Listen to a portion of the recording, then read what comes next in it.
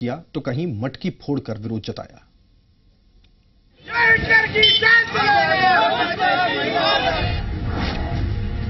भीषण गर्मी के बीच प्रदेश के कई हिस्सों में पानी की किल्लत को लेकर हाहाकार मचा हुआ है, जिसका खामियाजा जलदाय विभाग के कर्मचारियों को भुगतना पड़ रहा है। श्रीगंगानगर में पानी की समस्याओं को लेकर लोगों का गुस्सा जलदाय विभाग पर फूटा। जलदाय विभाग के कर्मचारियों को एक महिला ने थप्पड़ जड़ दिया।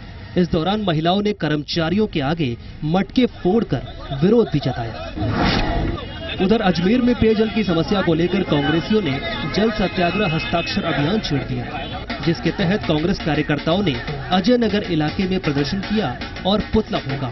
साथ ही लोगों से जल सत्याग्रह अभियान पर हस्ताक्षर भी करवाए। छोटी छोटी बस्तियाँ हैं, ऊपर जहाँ पर प्रेशर कम है, पानी और बिजली, ये दोनों समस्याओं को जूझ रही है जनता। हमने बहुत विरोध प्रदर्शन करके माननीय जिला मुख्यमंत्री वसुंधरा राजे का पुतला दहन किया और विरोध प्रदर्शन किया।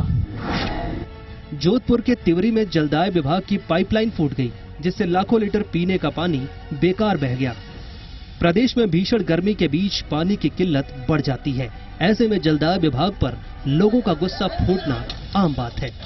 Bureau report, Zee Media.